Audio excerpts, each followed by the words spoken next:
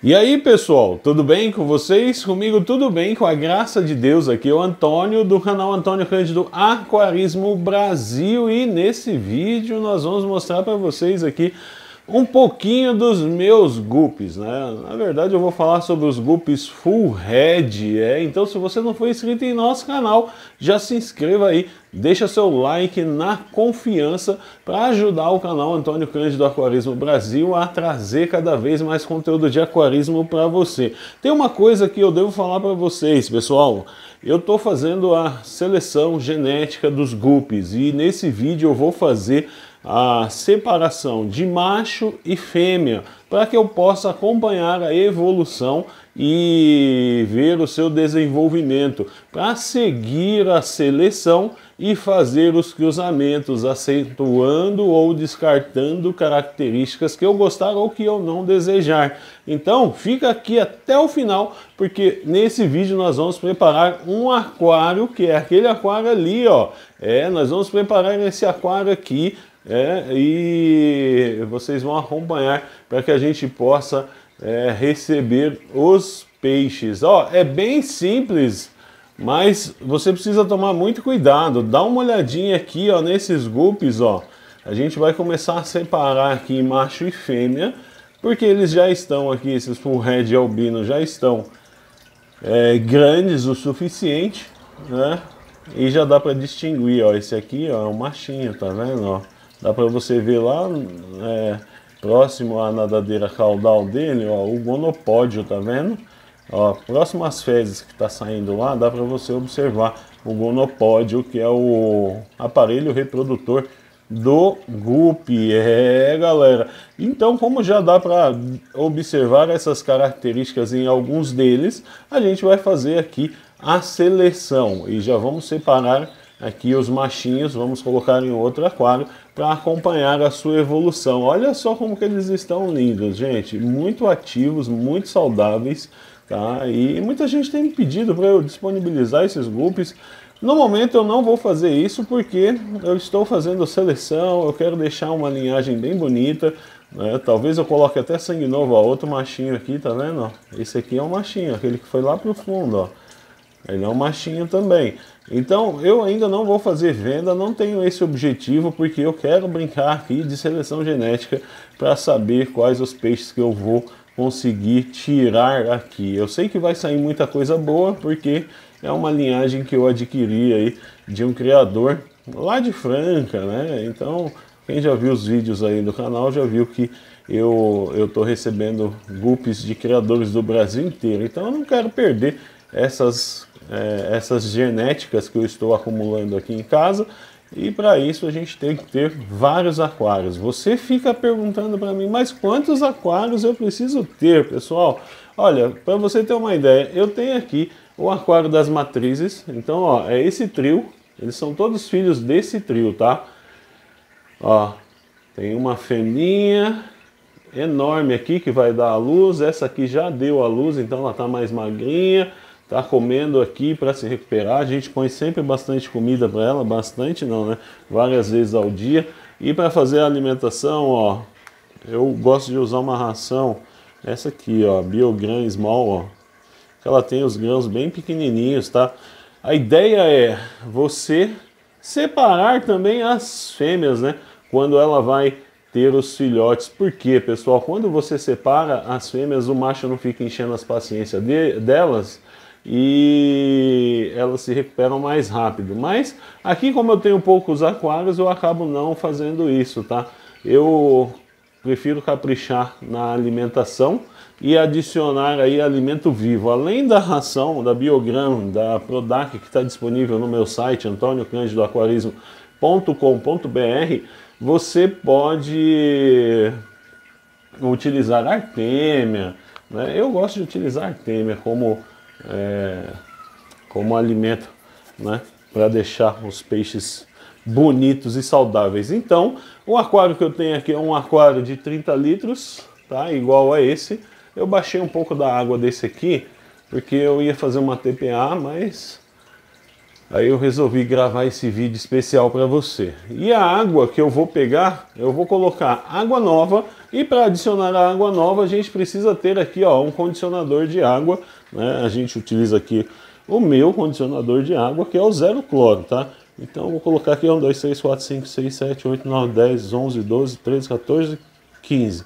Como eu vou adicionar é, 30 litros de água, uma gota trata 2 litros de água. É, galera, agora chegou a hora. Vocês desculpem eu estar tá parecendo um robozinho aí, é porque eu tô, tô carreguei muito peso esses dias para fazer as entregas lá do site e acabei que acabei que eu fiquei com torcicolo. É, galera, tô meio durango aqui. Eu não sei se eu já pedi seu like, deixa seu like aí para ajudar a gente, tá galera? Pro canal Antônio Cândido do Aquarismo Brasil continuar trazendo cada vez mais conteúdo de aquarismo para você. Não é fácil não, gente. Hã? É importante que você tenha sempre muitos aquários, tá? Se você quiser fazer a reprodução de peixe, você precisa ter muitos aquários. Por que, que você tem que ter muitos aquários, gente? Ah, se eu for fazer uma reprodução sem seleção genética, você não precisa ter tantos aquários assim. Agora, se você quiser fazer um trabalho de seleção, você precisa separar, fazer os cruzamentos, né? E aí sim você precisa ter muitos aquários. Acho que aqui já dá, tá? Opa, tava indo bem, hein? Acho que aqui já dá, hein, galera? É, ó, pra gente começar a fazer a nossa seleção. É, eu preciso passar uma coisa aqui interessante para você que tem guppy. Pessoal, eu sempre gosto de utilizar aí sal nos meus aquários, tá? Então eu tenho aqui sal bovino sem iodo, tá? Aqui eu já adicionei ontem e aqui eu vou adicionar agora, ó. Tá? Um pouquinho de sal, que é um fungicida natural, né? E você não vai ter aí problemas com os seus peixes, tá, galera? Sempre adiciona um sal bovino sem iodo, que já está acabando aqui, ó. Né? Mas eu tenho mais lá. Inclusive eu tenho no meu Mercado Livre na Shopee também, tá? Se você quiser, a gente pode combinar o envio para você. Bom, isso eu não posso falar o que, que é, que eu estou adicionando, é um produto que eu vou lançar em breve, tá? Mas ele vai ser um reforço biológico aí, né? E meio, para meio entendedor, pra, quer dizer, para um bom entendedor, meia palavra basta. e aí, o que, que eu vou fazer aqui agora? Eu vou desligar aqui um sistema de filtragem que eu já tenho aqui nesse aquário, porque como aqui deram poucos filhotes, e a maioria são fêmeas nesses aquários, ó, como deram pouquíssimos filhotes, e eles estavam aí no aquário ao lado, é um, era um trio de bloom, né? E aí eu falei, nesses eu vou fazer, é, eu vou juntar todos num aquário só, tá? Então eu acabei fazendo isso, juntei tudo num aquário só e então, pessoal, aí eu acabei juntando aqui, ó. Olha só que lindo que eles estão, ó. Né? Para depois fazer a seleção desses camaradinhos aqui. Olha o tamanho que eles estão, ó. Lindos, né? Lindos, lindos, lindos. Depois eu vou seguir um, um trabalho de reprodução. Ó, aqui é um machinho, ó. Esse aqui é um machinho, ó. Tá vendo, ó? Esse que tá próximo do meu dedo é um machinho. E ele vai ficar parecido com esse camaradinho aqui, ó. Tá vendo? Já dá para saber, o restante é fêmea, ó. Tá vendo? Talvez eu tire só o macho daí, né? Ou não, não sei ainda, tá? E aí eu preciso, galera, que vocês é, fiquem espertos no nosso canal, porque a gente sempre vai trazer atualizações aqui de aquarismo, tá? Se quiser saber qualquer coisa de aquarismo, é aqui, tá? É, galera, o canal Antônio Cândido do Aquarismo Brasil tem os melhores conteúdos de aquarismo para você. Aquarismo verdade, tá? Não vou nem limpar esse filtro, tá, pessoal? Por que, que eu estou aproveitando esse filtro JP300 da Aquatank? Porque ele é um filtro que já tem, ó, aqui nele colônia de bactéria, tá vendo, ó? Muita colonização de bactéria. E aí, a gente vai adicionar aqui ó, o nosso JP300, que também está disponível no Mercado Livre, na Shopee. Né? Se vocês quiserem aí, tem condições especiais para você. Eu vou adicionar ele aqui, com sujeira e tudo mesmo. é, galera, a mão da gambiarra chega treme, né? A mão da gambiarra chega treme. É, galera. Like nesse vídeo aí, ó. Vou ligar o filtro agora, ó. Hã? E vou deixar tocando aqui esse aquário por enquanto. E agora nós vamos fazer a seleção. Eu gosto de apontar a flauta para cima, né? Ó, vou até tirar aqui.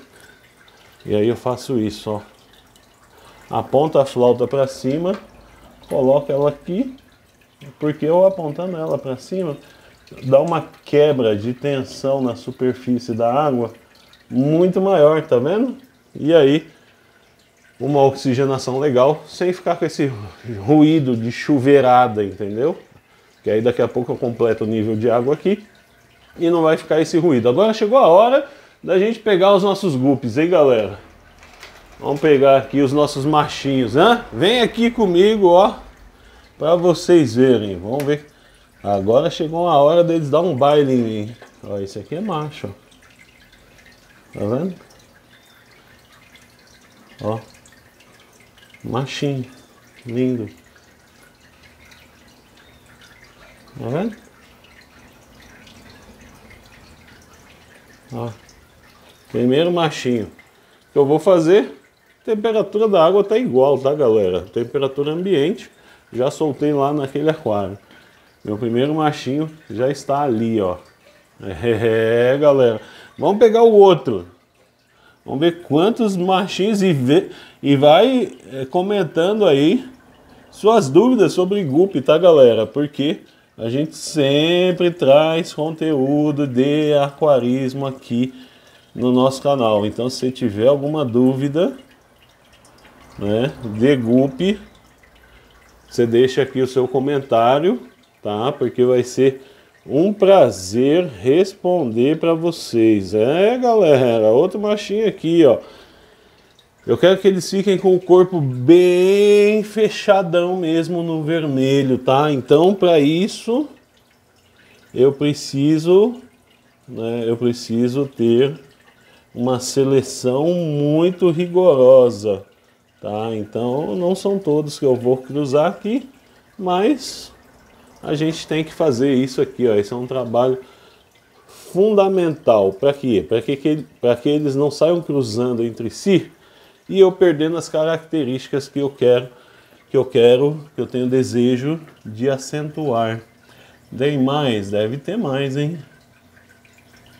É difícil enxergar, ver a diferença entre macho e fêmea, mas eu acho que aquele que está com a fezes ali, ó, eu botei até uma luz aqui para ver se eu consigo. Aqui, ó, outro machinho. Esse. É esse camarada aqui, ó. Hã? Dizem que o último é o pior para pegar, né? Hã? Aqui, ó. Vamos soltar ele aqui. Aí, ó. Soltamos ele, deixa eu ver se eu observo mais. É, eles estão bem pequenos ainda. Alguns ficam nítidos, o gonopódio, né? Outros nem tanto. Acho que esse aqui é um machinho também. Tô pensando nesse aqui, ó. Tá vendo? Tô achando que é. Na dúvida eu acho que eu vou esperar mais um pouco. É. É muita coisa para vir. Nossa, quantas fêmeas eu tive e quantos machos? Quatro machos por enquanto. Mas a, a esperança continua, sabe por quê? É, porque esse outro aquário aqui embaixo, ó, esse aquário também é só de full red, tá? Albino, tá, galera? Então, a gente vai ter aí uma nova seleção. Conforme eles forem crescendo, as fêmeas eu subo, os machos eu mando para lá, entendeu? E assim vai. É, só deu quatro, galera. se vocês estão vendo mais algum macho aqui, se vocês estiver vendo mais algum machinho aqui, ó, você deixa aí o comentário. Aí depois eu venho aqui e faço uma, uma repescagem aqui nessa seleção, que eu acho que vai ser necessário em breve, conforme eles forem desenvolvendo mais, a gente vai fazendo uma nova seleção. Por quê? É, agora, como eu reduzia um pouco, né? não reduzi muito, eu reduzi um pouco a população, a ideia é que esses machinhos aqui se desenvolvam mais rápido em água nova e tudo mais. E aqui, por terem menos peixes, e eu vou reforçar a alimentação, vou também completar o nível da água, é, eles vão também crescer e se desenvolver mais ainda. Se você não me segue ainda no Instagram, já segue aí é arroba Antônio Cândido Aquarismo Brasil. Compartilhe esse vídeo para que novas pessoas vejam e conheçam um pouquinho do nosso canal, tá bom, pessoal? Um abraço para vocês, espero que vocês estejam muito bem, cuidem bem dos seus peixes, fiquem com Deus e até o próximo vídeo.